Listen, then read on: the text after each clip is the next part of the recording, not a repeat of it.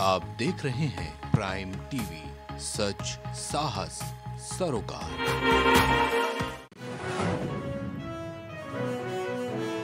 बाली में ऋषि सुनक से हुई पीएम मोदी की मुलाकात ब्रिटिश प्रधानमंत्री बनने के बाद पहली बार मिले।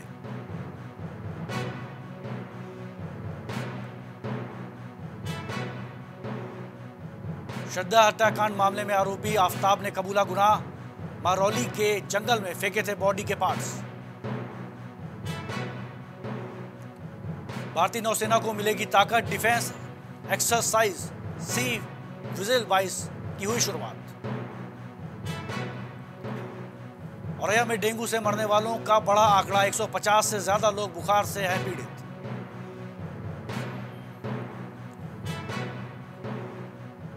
गाजियाबाद में हाईवे पर हुआ सड़क हादसा, हादसे में एक की हुई मौत।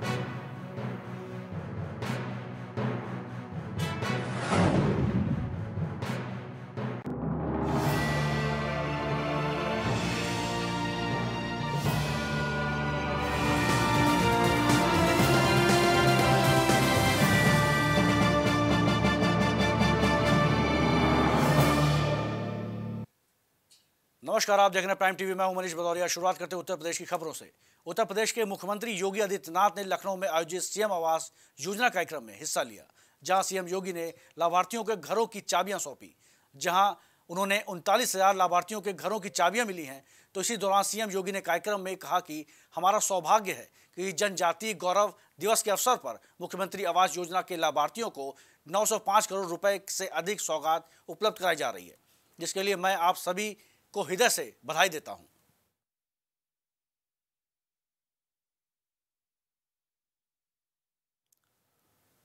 औरैया ज़िले में डेंगू से मरने वालों की संख्या लगातार बढ़ती जा रही है। बता दें कि अब तक डेंगू से मरने वालों की संख्या सात के पार हो चुकी है और इस बुखार से पीड़ितों की संख्या 150 के पार हो गई है। वहीं सौ शैया अस्पताल में डिकेट डिकेट, डेडिकेटेड अस्पताल व कंट्रोल रूम स्थापित किया गया।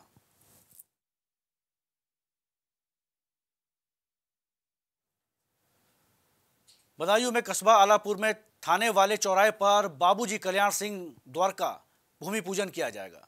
इस दौरान बीजेपी के कई नेता भी वहाँ मौजूद रहेंगे। वहीं पर इस कार्यक्रम में मुख्य अतिथि के तौर पर सहकारिता मंत्री बीएल वर्मा, बीजेपी जिला अध्यक्ष शामिल होंगे। जानकारी के मुताबिक भूमि पूजन को लेकर सभी तैयारियाँ कर ली गई हैं। बाबूजी कल्याण सिंह द्वार है। और स्वर्गीय जयनलाल कश्यप की स्मृति में बन रहा है। वो आपके कौन है? पिताजी हैं। अच्छा। और इसके भूमि पूजन के मुख्य अतिथि हैं केंद्रीय राज्य मंत्री पी एल वर्मा जी भारत सरकार।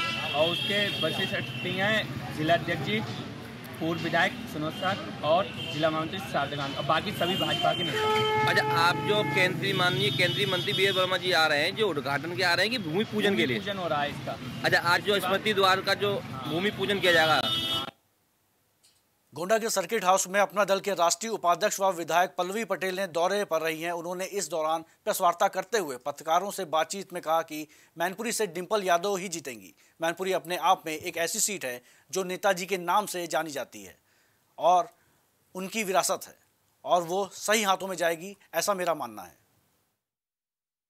देखिए, मेरा ये मानना है कि ये उपचुनाव वैसे तो सत्ता पक्ष का होता है।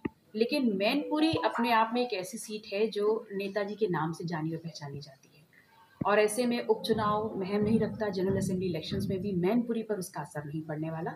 वो उनकी विरासत है और उनकी विरासत सही हाथों में ही जाएगी। और रामपुर क्या दावा कर रही हैं आपके हिसाब से? मैं मानती हूँ कि वहाँ पर साइकिल बहुत तेज़ी से दौड़ेगी। और रामपुर में? रामपुर में भी वैसा ही रिजल्ट्स आएगा क्योंकि वहाँ पर आज़ा अहमद साहब ने बहुत लंबे अंतराल तक अपनी ज़िंदगी का बहुत महत्वपूर्ण वक्त दिया है और वो एक बहुत पढ़े लिखे राजनेता हैं जो अपने कद उन्होंने जो बनाया है, वो उनकी शैली के हिसाब से है। रामपुर में भी हम विजय हासिल करेंगे। हरदोई में नगर पालिका की लापरवाही का एक मामला सामने आया। जानकारी के मुताबिक पालिका अध्यक्ष ईओ व जिम्मेदारों के मनमाने रवैये के कारण शहर वासियों का निकलना मुश्किल हो रहा है। दरअसल मेडिकल कॉलेज के पास नगर पालिका ने कूड़ा निस्तारण के बजाय जला दिया, जिससे आसपास के इलाकों में धुंध छाई हुई है।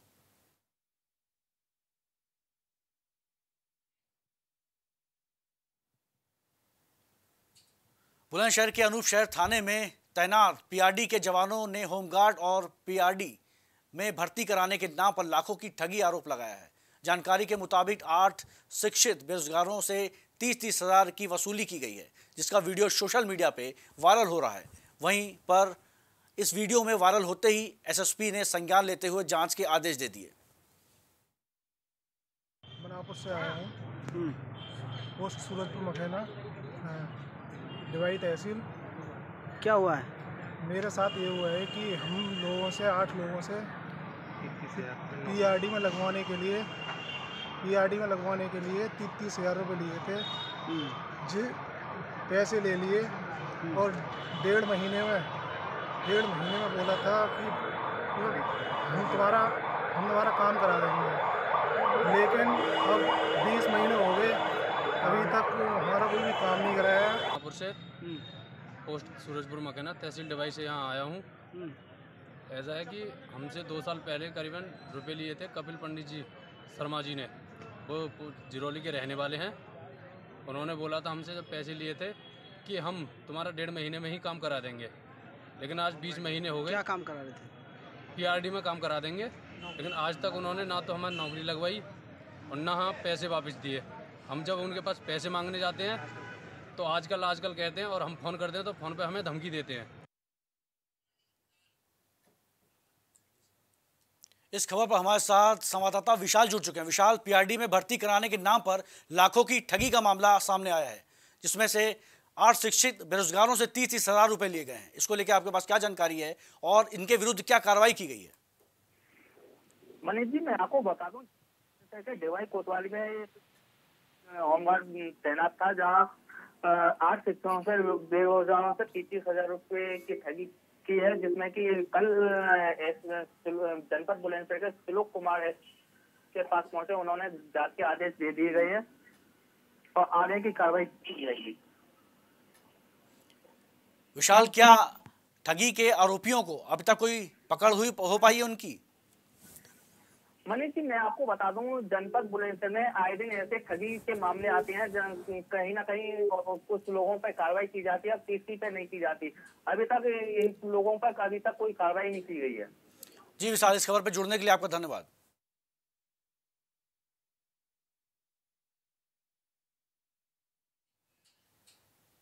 रायबरेली में नगर पालिका परिषद का चुनावी बिगुल बजने वाला इसी को लेकर कांग्रेस कमेटी की ओर से लगातार सामाजिक कार्यों से अपनी पहचान बनाने वाले अमीन पठान और उनके भाई अरशद पठान ने अपना पहला कांग्रेस कमेटी जनसंपर्क कार्यालय खोलकर पूरे कांग्रेस कमेटी में खलबली मचा दी है।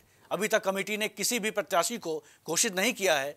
चुनाव युवा चेहरा और युवा सोच होने के कारण पठान भाई अपने आप को कांग्रेस कमेटी का प्रबल दावेदार मान रहे हैं।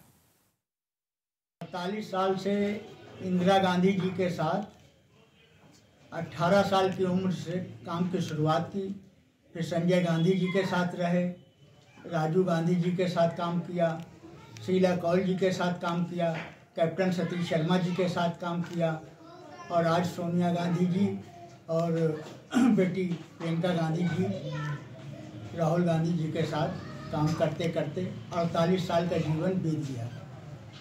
पार्टी ना तो बदली है, ना छोड़ी है और ना आस्था में कहीं कमी आई है। एक चाल जो थी, शुरुआत की वही आज भी है। रायबरेली ज़िले के गुरबकशगंज थाना क्षेत्र में एक महिला ने थाने में जाकर दबंगों के खिलाफ शिकायत दर्ज कराई है। जानकारी के मुताबिक महिला ने पुलिस को बताया कि उसका पति मछली पकड़कर लौट रहा था, तभी दबंगों ने रास्ते में रोककर बुरी तरह से मार पीटा और ब्रजलाल वहीं पर बेहोश होकर ज़मीन पर गिर पड़ा। आनंद फानन में घायल को नजदीकी अस्पताल ले जाया गया जहाँ स्थिति नाजुक बनी हुई थी। नाजुक स्थिति को देखते हुए जिला अस्पताल रेफर किया गया जहाँ पर उनका इलाज चल रहा है। आदमी इसको नहीं चीना है। जिसने मारा इस नहीं चीन पाया। लेकिन जयशंकर रोड पर खड़े थे उसको चीना है। कोई रंजिश थी क्या जयशंकर से? किस लिए? इसलिए कि जयशंकर को भट्टो ले लिया है इसीलिए मरवाते हैं। थाने गई थी आप? हाँ थाने गए थे। एप्लीकेशन दे दिया? हाँ दे दिया। क्या कहा गया वहाँ पर? मतलब पुलिस कहे कि जो है कि हमने अच्छी माँ के घर जाते थे। वहाँ हमको रोक लिया बच्ची मारने लगे गाड़ी अड़ा के जिसने मारा जानते हो उनको आप? वो हम उनको नहीं मालूम हमको कहाँ के क्या हुआ फिर? फिर मारा मारा उसके बाद ही पूछा कि कहाँ कहाँ तुम्हारा नाम कहा नहीं मिला? फिर मारने लगे मार के फिर जब दूसरा आदमी को देखा कि आ रहा तो हमको धीरे के चले गए उसके बाद मराने वाले जो शंकर हैं वहाँ बड़े नहर में मौजूद थे बैठे थे। इनकी कोई आपकी आपसी दुश्मनी थी क्या? हाँ जी। मैंने उनका भट्टा मालिक हमको दिया। उसी दिन सनीचर को आग पड़ी है। लेवल हमको दूसरे दिन हमको खबर से, जहाँ सदर तहसील में तैनात एक चतुर्श्रेणी कर्मचारी ने तहसीलदार न्यायिक की कोर्ट में रखे ज़रूरी दस्तावेजों को फाड़ डाला। मामले की जानकारी होने पर तहसील में हड़कम मच गया। मामले में एसडीएम ने मुकदमा दर्ज कराया जाने का आदेश दिया। एसडीएम ने के निर्देश पर नाजिर ने मामले में कोतवाली पुलिस को तहरीर दी है। पुलिस ने तहरीर के आधार पर मामले में मुकदमा दर्ज करते हुए आरोपी कर्मचारी को हिरासत में ले लिया है। वहीं फाड़े गए दस्तावेजों के बाद अब विभाग के पास उन दस्तावेजों का कोई रिकॉर्ड भी नहीं। बता दें कि आरोपी कर्मी के परिजनों ने बताया कि कर्मचारी की मानसिक स्थिति खराब है।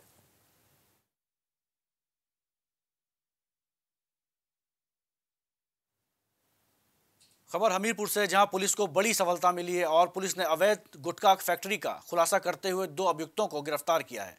बता दें कि गिरफ्तारों के पास से पुलिस ने चार बोरों, सुपारी और छह बोरा, मिश्रित तंबाकू के साथ दो इलेक्ट्रॉनिक गुटखा बनाने वाली मशीनों को भी बरामद किया है। वहीं इस बात का खुलासा पुलिस अधीक्षक ने प्रेस कॉन्फ्रेंस में किया।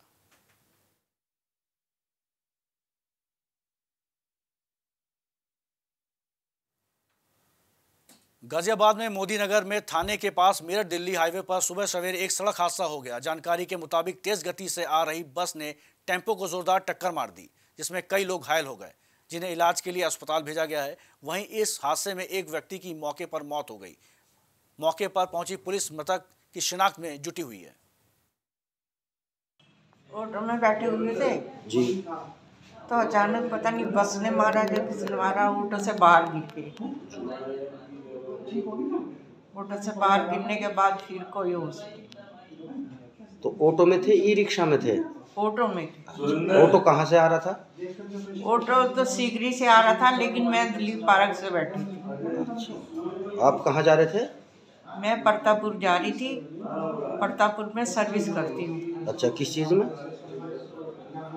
देवश्री फैक्ट्री है वहाँ धागा बनता है। उसमें। कितने लोग थे टेंपो में? टेंपो भरा हुआ था। रायबरेली में नगर पालिका के चुनाव में वार्ड के आरक्षण को लेकर अब आपत्ति भी दर्ज होने लगी है। आपत्ति कार्यकर्ताओं ने आरक्षण का हवाला देते हुए जातीय जनसंख्या को आधार बनाया है। वार्ड नंबर तीन से सुमित सोनकर ने डीएम को प्रार्थना पत्र देकर बताया कि मलिन बस्ती में रहने वाले दलित समाज के सबसे ज़्यादा मतदाता हैं। इस इलाके में लगभग 35 प्रतिशत दलित हैं इसलिए यहाँ की सभासद की सीट भी ऐसी होनी चाहिए लेकिन उन्हें बैकवर्ड कर दिया गया। गुरु नानक नगर के आरक्षण पर आपत्ति ज़ाहिर करते हुए इसरार अहमद सभासद ने डीडीएम को लिखित पत्र देकर आपत्ति दर्ज कराई। मनीष सोनकर देवंदापुर आज ज्ञापन देने कहाँ पे हैं? क्या मामला है? जी हम लोग आज जो है डीएम साहब के पास जो ज्ञापन देने आए थे अपनी मांगों को लेकर के कि मतलब जो देवंदापुर जहाँ पर जो एस बाहुल्य क्षेत्र है दलित बाहुल्य क्षेत्र है उसको जो जो मरीन बस्ती में भी जो, इसीलिए शामिल किया गया है वहाँ पे जो है जो एस बाहुल्य क्षेत्र है जिसमें जो जो बैकवर्ड कर दिया गया है सामान्य फिर जो दूसरे नंबर पे आता है तीसरे नंबर पे जो बैकवर्ड आता है और उसके लिए जो, जो उन्हों, उन्होंने बैकवर्ड कर दिया ताकि जो है एस और, और जो सामान्य जो है न लगे जी हम लोग आए हैं ज्ञापन देने के लिए जिला अधिकारी महोदया के पास आरक्षण को लेकर। क्या मामला वार्ड नंबर तीन जहाँ पर 34.58 परसेंट एस रहते हैं उसको कर दिया गया है बैकवर्ड गुरु नानक नगर जहाँ पर 17 परसेंट लोग एस रहते हैं पाँचवीं बार इसको एस कर दिया गया है जबकि 80 परसेंट लोग यहाँ पर जनरल बाहुल्य क्षेत्र के इलाके में रहते हैं। खबर रायबरेली से जहाँ प्रतापगढ़ राजमार्ग पर दर्दनाक हादसा हो गया है। तेज रफ्तार में आ रही अनियंत्रित ट्रक ने बाइक सवार को टक्कर मार दी है जिससे कार चालक की मौके पर ही दर्दनाक मौत हो गई और कार में बैठी महिला समेत चार बच्चे गंभीर रूप से घायल हो गए हैं जिनको स्थानीय लोगों की मदद से इलाज के लिए अस्पताल में भर्ती कराया गया। रायबरेली का मामला है? क्या मामला? मामला है कि अभी एक काफ़ी कहीं पे सलोन सी से रेफर होके आए हैं तो उसमें से एक काफ़ी सीरियस थी महिला। उनको प्राइमरी उपचार देके उनको के लखनऊ भेज दिया गया है ट्रॉमा सेंटर और दूसरे तारिक हैं, चालीस साल की उम्र है, उनको ब्रॉड डेड लाया गया था तो उनको ब्रॉड डेड घोषित कर दिया गया है और तीन चार बच्चे थे जिनका प्राइमरी उपचार करके उनको घर भेज दिया गया। फ़िलहाल उत्तर प्रदेश की खबरों बस इतना है। देश प्रदेश की ताज़ा तरीन खबरों के लिए देखते रहिए प्राइम टीवी नमस्कार।